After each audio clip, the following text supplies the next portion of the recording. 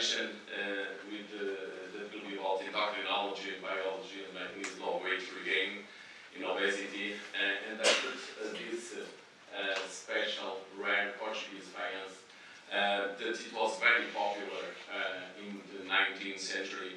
Uh, we have uh, some children that came from Italy. They were called the meninos gordos, fat children, and uh, they were in, in several of our um, uh, finance, uh, namely from uh, Vila Nova Gaia, uh, uh, a city near Porto, and uh, that uh, make a special sign of the stigma that is related to the, this disorder because uh, they um, talk about this and it's very common because they, they the, the children are uh, came to circus and uh, all, pass all around the country um showing like special uh, uh, patients or special people uh, and this is a very important concern that we, we need to have in mind when we talk about uh, uh, obesity and weight regain. So, in general, we say that uh, uh, we have a general perception that almost uh, no one succeeds in long-term maintenance of weight losses, uh, I said a few moments ago. And one of the of not, one of the problems is why how, why could we define success? What is the, the, the, the meaning? What is the, the role or the way to define success? Um, and another aspect is when we talked about this is what is uh, intentional uh, uh, weight loss and what is not in- intention weight loss. And uh, in long term, uh, we can say that successful long-term weight loss maintenance as intentionally losing at least 10% of initial body weight and keep it off for at least one year. And with this, with this the definition, uh, we, we, we have much more optimistic results with packs greater than 10% overweight obese persons able to achieve success. When you go to the National Weight Control Registry of uh, the United States of America, successful long-term weight loss maintenance uh, people that uh, uh, uh, lost weight uh, around 30 kilos for an average of 5.5 years share uh, common uh, behavioral strategies. They, they can lose weight from different paths by increased physical activity, by uh, different kinds of intervention, behavioral intervention, diet. But when they are able to maintain the, the weight they lost, uh, they usually use a diet low in fat.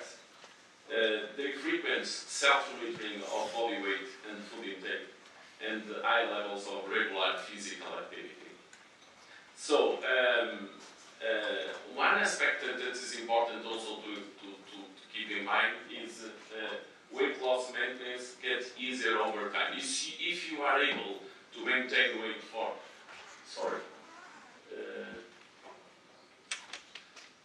I don't know. Uh, if you are able to maintain uh, weight for just uh, a period of time, as long as the, the time is going on, you can you can keep it.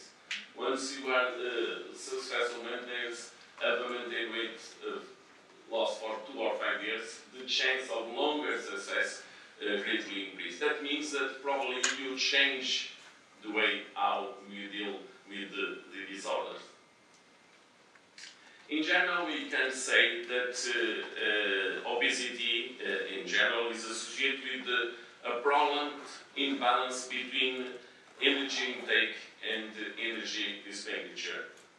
And uh, this uh, uh, energy intake and energy expenditure are linked by uh, different uh, feedback process and each is associated with some degree of internal factors and external factors. And there is uh, these, these uh, factors uh, are associated in three, we can call three um, control processes: the homeostatic, cognitive, and the hedonic. And we have already talked a bit before about these different um, components of the control.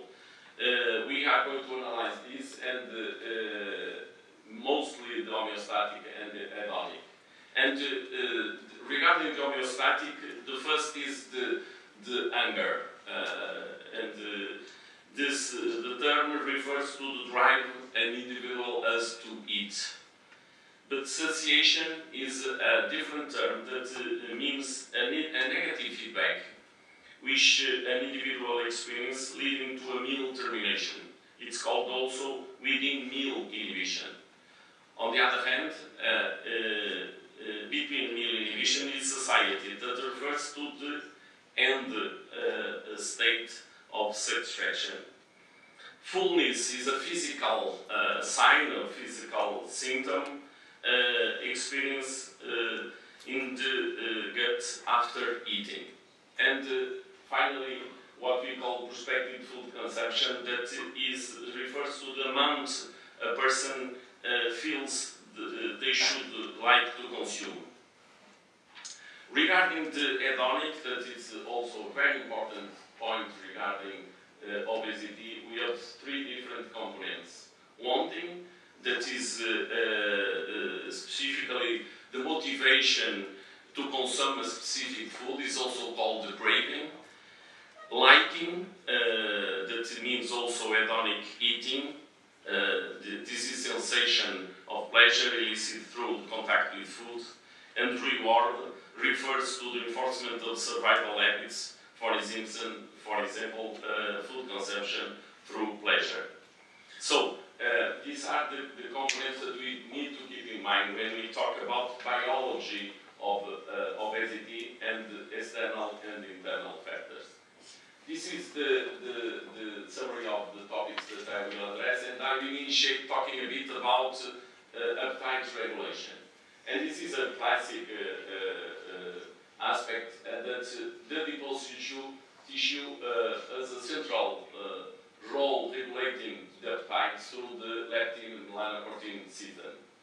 as you can see here, the adipose tissue produced uh, a hormone called leptin that uh, uh, could, through action uh, uh, at pro-melanocortin system, can uh, produce alpha MSH that acted the MC4 receptor that could induce or inhibiting orexigenic agents or stimulating uh, orexigenic agents or factors that decrease food intake and decrease uh, energy storing and you uh, uh, regulate or you maintain the, the, the, or you come back to the adipose tissue level.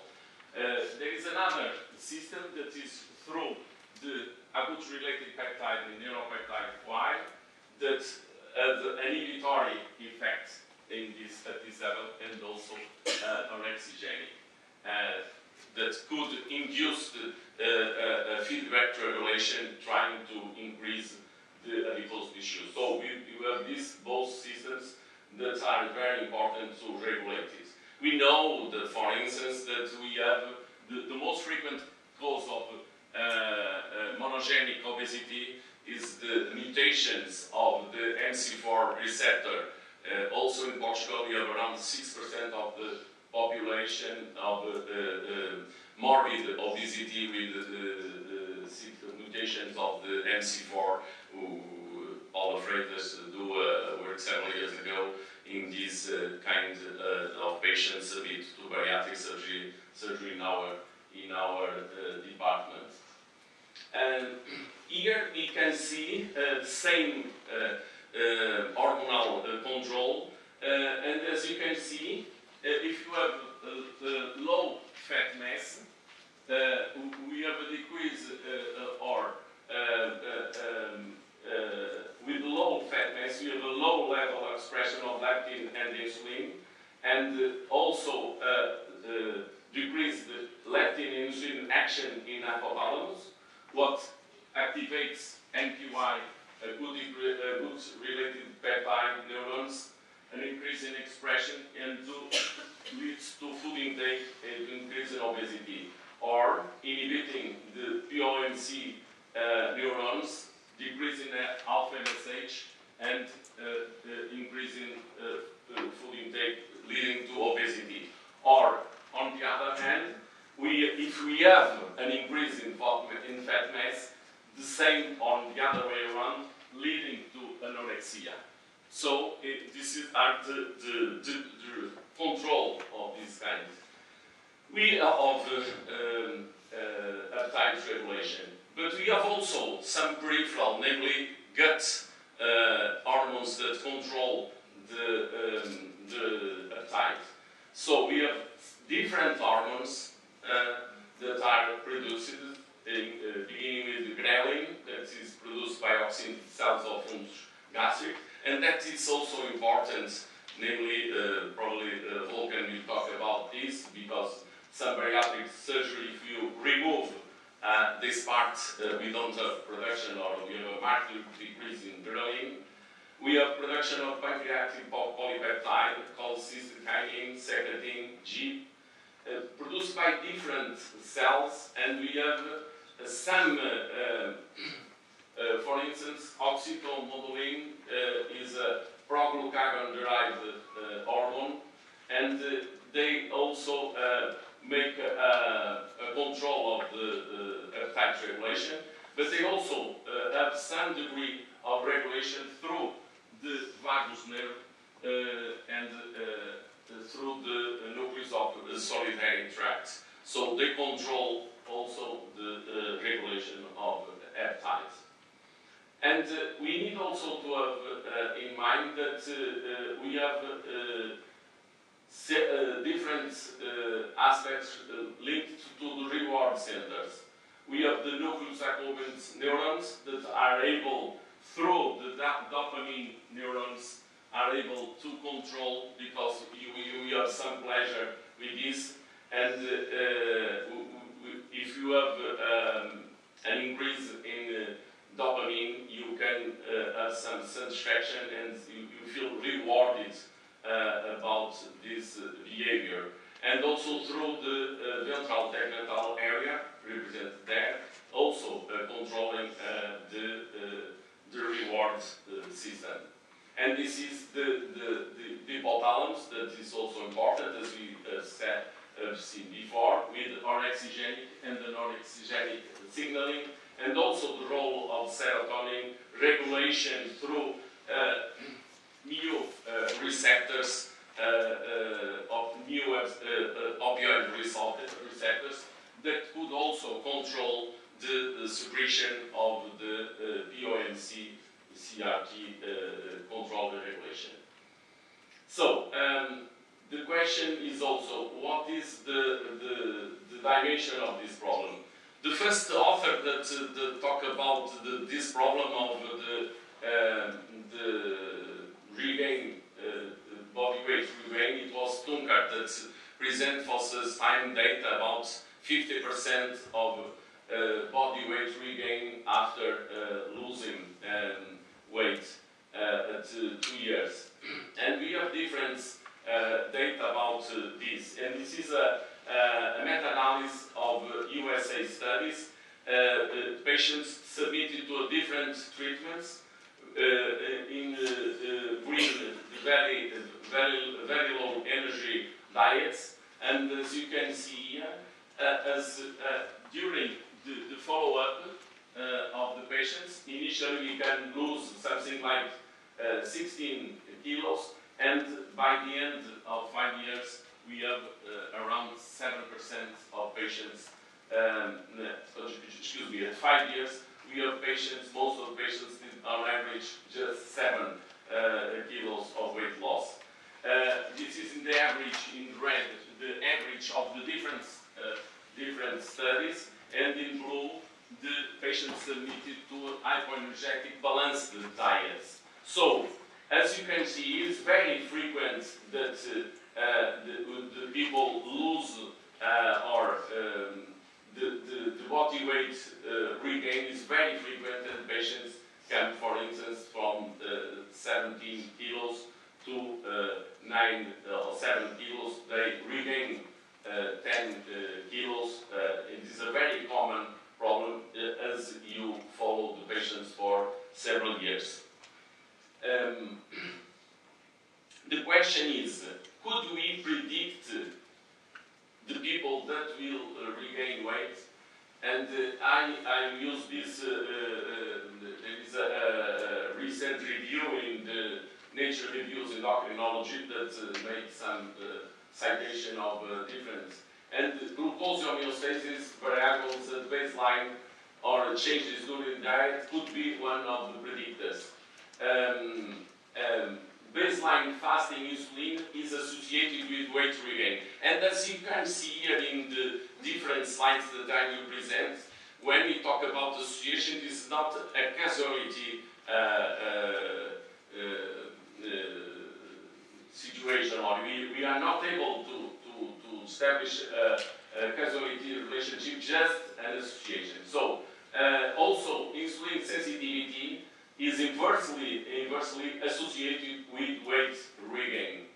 So the, the people, um, the people more insulin resistance uh, uh, could uh, have uh, um, uh, weight regain. Changing fasting insulin and insulin resistance, def defined for instance by HOMA, during weight loss inversely associate with weight regain. So insulin and glucose are important determinants. Another aspect is the, the plasma cysteine levels. Uh, total plasma cysteine levels at two years after uh, uh, Roux-en-Y uh, uh, gastric bypass is associated with weight regain after two and four years after surgery. Uh, one of the aspects that we will usually want to know is if there is any relationship between the initial weight loss uh, and the, the, weight maintenance. And in general, weight uh, uh, increased weight loss is associated with successful weight maintenance. Uh, more than 10% weight loss maintained. Uh, and these are different uh, ways of measuring this increased weight loss and we, in the different studies. So usually an increased weight loss of three, week, three weeks predicts also successful at one year, more than five years weight loss and uh, reduced BMI inversely associated with uh, weight regain. You can, if you lose more weight, if you have lower uh, Uh, BMI, uh, it, it, will be uh, probably a different weight regain.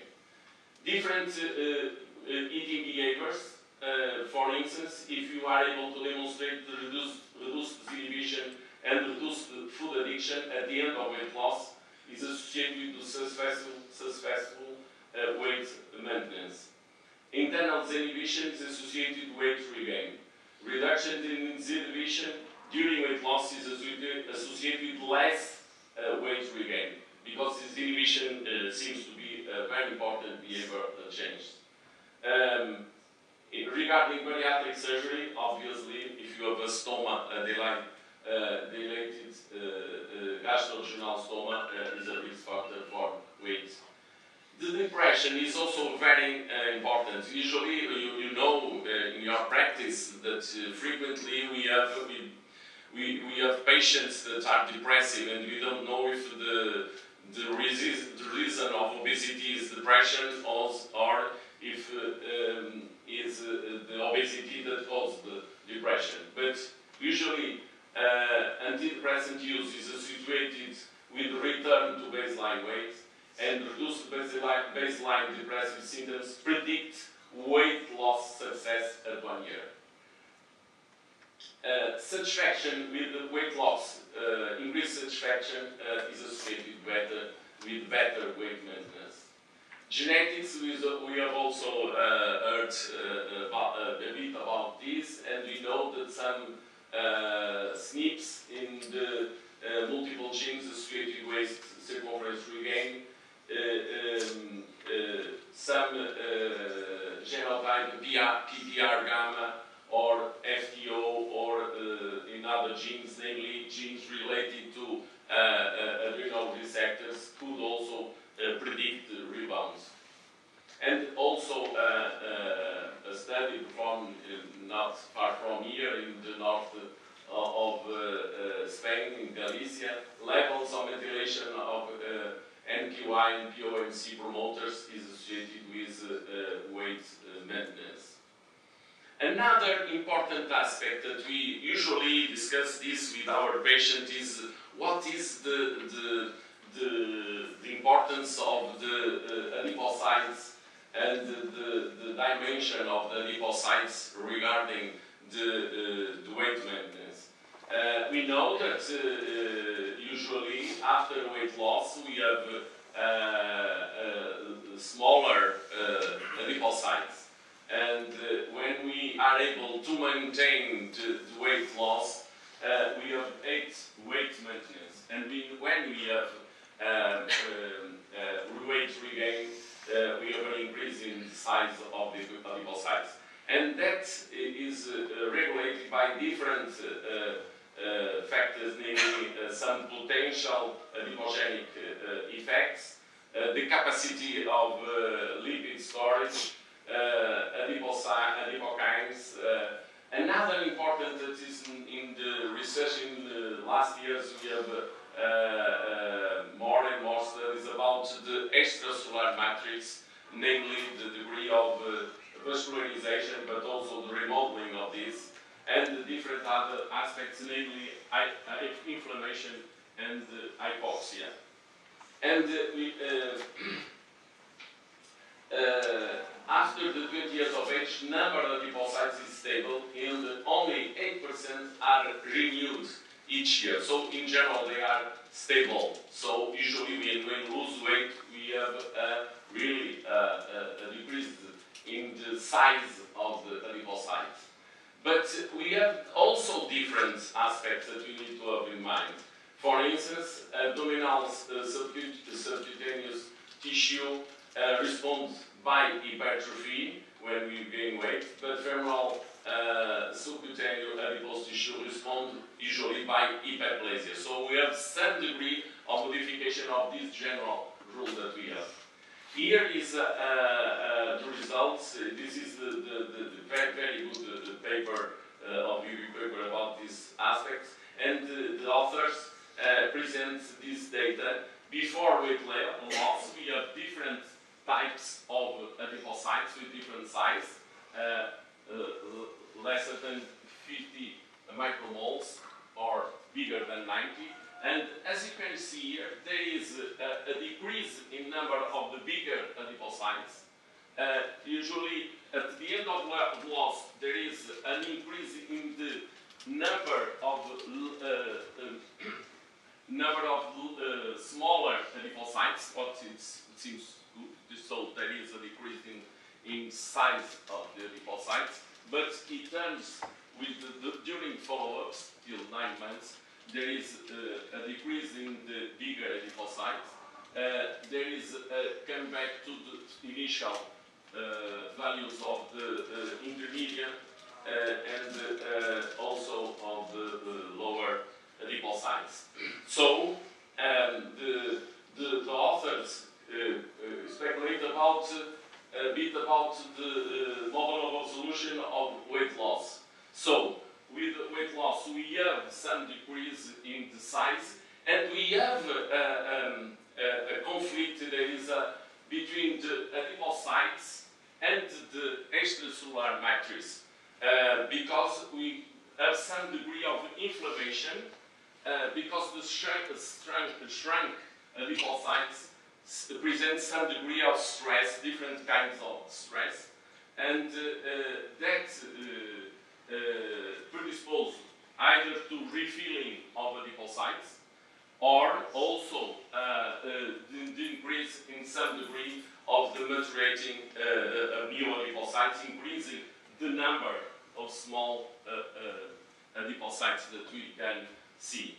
And it is also important that this uh, kind of modification uh, is uh, uh, related to different adaptations. So, uh, with the, the, the, in this kind, when we lose weight, we, we have some decrease in lipolysis, and this de decrease in lipolysis, because we have smaller uh, adipocytes, is related to uh, an increase in translocation of GLUT4 that will enable uh, uh, easier entrance of glucose to the cells, and also uh, an increase of expression of perilipin at the surface of this kind of cells that uh, turns easier uh, um, the uptake of uh, fatty acids. So it's all factors that tend to, to cause regain of fat mass.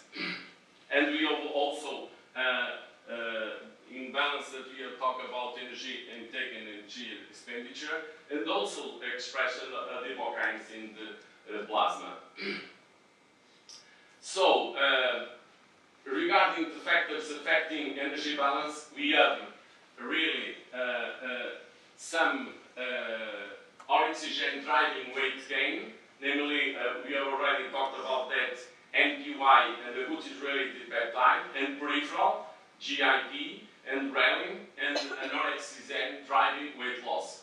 Uh, POMC cards and GLP-1, uh, polypeptide, pancreatic, uh, and other hormones. And we have the, the, factors that we already talked about, uh, and this the, the, balance between these that uh, um, uh, could in, contribute to the, the, weight loss or to the weight regain.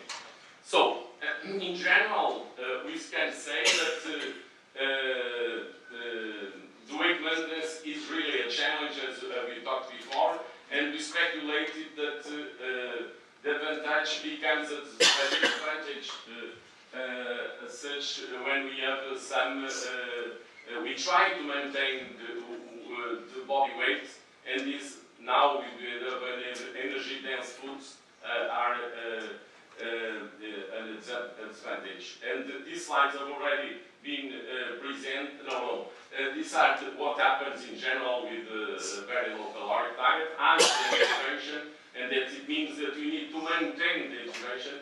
We uh, usually tend to increase. This is the slide that we have already presented. That really uh, uh, we have after losing weight. The, there is a decrease in, in energy expenditure, trying to return to, uh, to the weight that we have lost.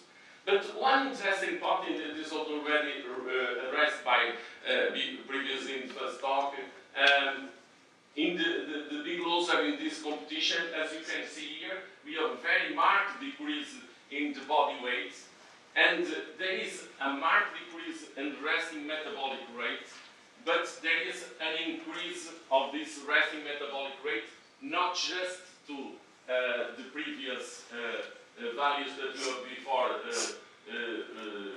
weight regain. Um, but, um, but there is a, a, adaptation to what is not usually at the same level as previously in, in bariatric surgery is not the same kind of adaptation that we can see here. So why this is different could be uh, a terminal discussion. This is also um, um, a slide regarding because we have uh, difference also an increasing anger uh, and uh, we have already talked this and these are the, the, hormonal levels that we can see. Obviously, we, if you lose weight, the leptin levels are decreased because these are one produced by the, the, body weight. There is, as you can see here, in the, the black is baseline at 10 weeks and 42 weeks, there is a decrease uh, in response um, or an increase in ghrelin after we lose it 10, 10 weeks and 10 weeks in blue and 52 weeks in red. There is an increase in ghrelin after losing weight. So the orexigenic to, to, to gain uh, uh, weight and the, the other uh, hormones similar. So we can summarize that chronic restrictions results in acute compensatory changes, including profound reduction in energy expenditure, the levels of leptin, levels of cholecystokinins, an increase in value, that is our oxygen, and also an increase in appetite, uh, that all of them try to uh, promote weight regain. So, in conclusion, I have some slides summing up. So, the homeostatic regulation, the biological systems act to maintain body weight, including regulation via peptide hormones that can induce anger in satiety. A gut hormone uh, system is very important, produce several hormones that promote satiety or hunger.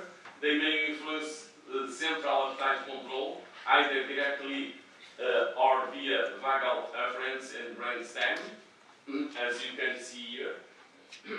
the vagal turns uh, through uh, uh, solitary tract uh, system is also. The hedonic regulation, the reward, uh, the reward of survival behaviors through pleasure, operates even in presence of satiety signals. The patient sometimes says I need to, um, to, to eat despite I, I have not uh, anger. So it's really uh, uh, disturbing. Um, leads to food consumption beyond the homeostatic need and link uh, between hedonic attraction to food and uh, obesity.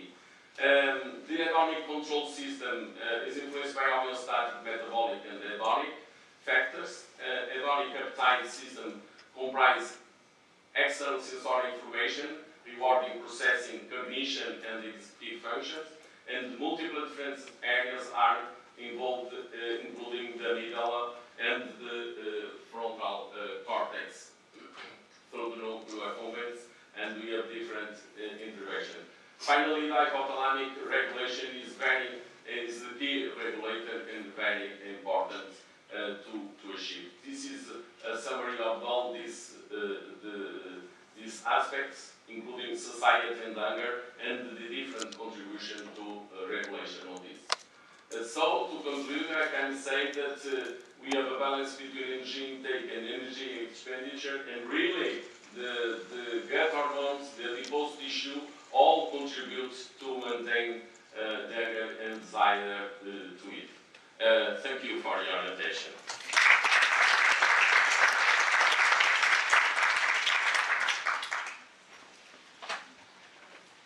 Thank you very much. David, for the excellent presentation. Now we have uh, 10 minutes, 15 minutes for discussion. Any questions or comments from from the floor? To our speakers. Hi, I hope you can hear me. Can you all hear me? Super. Uh, I would like to ask you about the long-term uh, maintenance and the long-term management, not least, of uh, a weight loss, successful weight loss, and whether we should start thinking in long-term medical treatment. We do that for hypertension, diabetes, or hyperlipidemia, but I, I feel that there is a resistance in the medical profession uh, towards long-term treatment of obesity medically. And I know that we do not have long-term um, experiments yet, but we didn't either when we started treating long-term for, for instance, hypertension and, and, uh, and hyperlipidemia. So I would like to hear your views on this, please.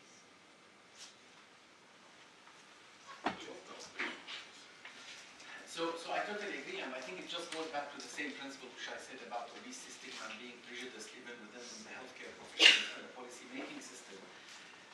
The data is not there, but when we started using ACE inhibitors, there wasn't 10-year data on ACE inhibitors at the time. So, so there is no reason why we can't use uh, pharmacotherapy to reduce weight on the long run uh, by using the pharmacotherapy long term and just have a follow-up studies and, and see the and assess the safety as we are going along. I think the difficulty though here is you are still talking about, you know, in terms of Europe, 20% of uh, men and 20 25% of men and women have obesity. So we are actually talking about a large number of people who could potentially receive pharmacotherapy for lifelong. The budget of that is just a huge. Having said that, it's still actually probably money saving by the end by reducing all the complications related to obesity and improving quality of of life and actually improving people going back to work to contribute to the tax system which is funding the treatment in the first place. However, the calculation just seems at the moment not adding up together. Is it the right thing to do? I personally think it is the right thing to do. If somebody tried lifestyle intervention and you know, let's say they achieve good weight loss over four or five years, but then after five years they start regaining the weight. What exactly wrong by using pharmacotherapy at this point to maintain that weight loss longer and probably achieve even further weight losses at that time? I see nothing wrong with that at all, but I don't think the system is completely 100% ready to accept this yet. I, I just uh, like to, to, to add that uh, we know in regarding hypertension and uh, uh, diabetes that uh, uh, the drugs and uh, also the physical activity, lifestyle changes are efficacious if they are used. And if you are not able to maintain the, the lifestyle intervention, if you are not able to maintain the pharmacological treatment, obviously, uh, if you do not take the pills, if you do not use the lifestyle, diet and exercise, you are not able to maintain what you, you uh, uh, the efficacious uh, of the, the, the system. So uh, obviously it's important that, that. One of the problems is um, um, now we have data regarding some of the drugs that uh, they are efficacious at least or they are able uh, and safe to be used for several years without any uh, side, significant side effects. They have obviously there are no efficacious drugs without side effects. Um, but we have uh, just small for four years, not more. We need more data. But really, the problem is that people are able to make uh, to, to think about the price, and uh, probably it's better to invest in the in drugs that are able to lose weight and maintain that uh, losing weight. And sometimes the people, what we see in practice is sometimes when the patients initiate to losing weight, they uh, try to maintain a bit, but really it's difficult. We know it. So we need more drugs, and really I think uh, we expect, and we have always uh, uh, expect, uh, expectation that uh, new drugs, dual agonists, will be a promise, but we need obviously to know. But really it is, an important issue, and we, need to discuss first the reimbursement of drugs, second the long-term use of this kind. But we need also to invest in lifestyle. We need more to invest. Any other questions?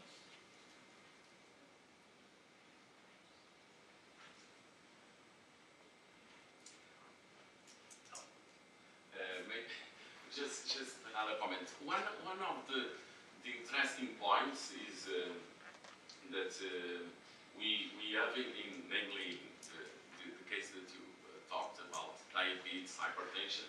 We have combination therapy. So the dual agonist is one perspective, but we need probably also to use, but we don't have data uh, regarding the combination of this uh, kind. This, we need it. We need that and uh, we need that uh, companies also uh, try to, to develop the, the, the, this kind of trials that we can use different combination drugs that are able to, to have better results, and we need desperately of that. Yeah, there's been increasing conversation about NASH and NAFLD. Uh-huh. Are there effective treatments available for these related conditions? No, no, no. So, at the moment, the only available treatments are all weight loss treatments, whether it's lifestyle intervention or pharmacotherapy or bariatric surgery. There are in the pipelines NASH-specific treatment, i.e. related to antifibrotic and anti-inflammatory. So these are in the pipeline. Whether they prosper or not, we just have to see. At the moment, NASH and NAFL treatment is really anything, anything that causes weight loss, whether it's lifestyle, pharmacotherapy, or bariatric surgery. But the future might change. Some, some of the obesity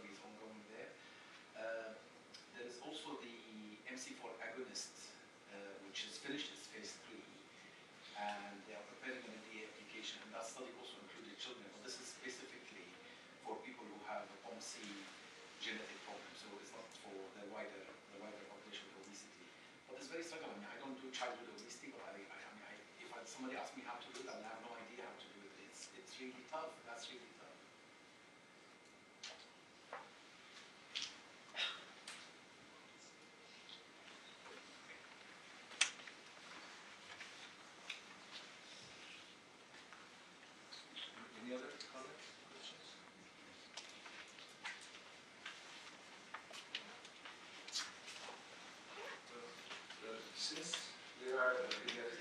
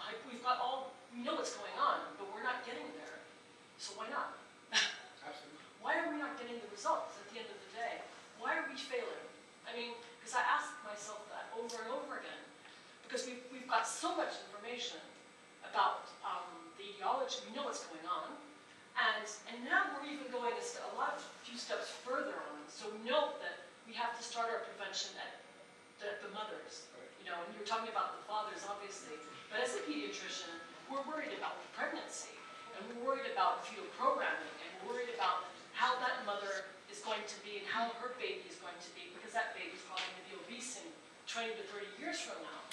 And if we know all of this, and at the end of the day, why are we not getting any better results? So, you know, it is challenging. It's quite challenging.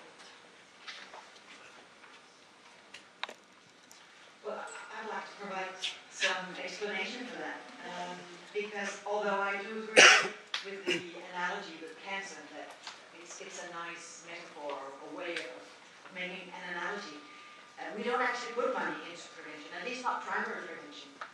I actually don't regard myself as a, as an obesity researcher. I, I study, I study obesity in children, but I actually regard myself as a leanness researcher. Because I'm interested in what is it that makes the healthy, normal weight child start gaining weight. And we have absolutely no clue. We don't know. We don't know the primary drivers, and we're not putting any money into this. There are no, and this is zero, there are no studies internationally addressing uh, childhood obesity in normal weight children.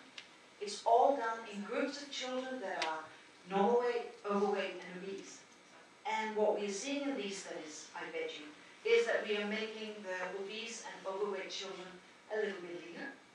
But we're not doing anything for the normal weight because we are probably barking up the wrong tree, keeping on just looking at diet and physical activity. And that's all we do in prevention. And we don't invest in primary prevention. And I think that is why we're not getting it. Probably our primary prevention will probably have to be our, we have to change the mindset probably. And there's no money in primary prevention. There isn't. Because we have to, there's always, um, I mean, because it's the cost effectiveness. Yes. Where do we want it, and where do the where does the government want to invest their money? And where are the best results? And so they just want to treat. But the thing is, if we can prevent them from developing, you know, becoming obese, then obviously, if we think of it on a macro level, then people won't have to invest in pharmaceuticals and all that to treat the patients. So if patients aren't getting ill, then we won't have anybody to treat. Oh, my goodness.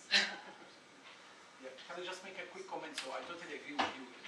From adult perspective, the, the picture is slightly opposite, where there is a lot of interest in prevention and hardly anything in, in, real treatment, apart from the folk. I mean, if you go to Public Health England and see what they fund in terms of uh, weight management it's all very short term, you know, three months intervention, six months interventions.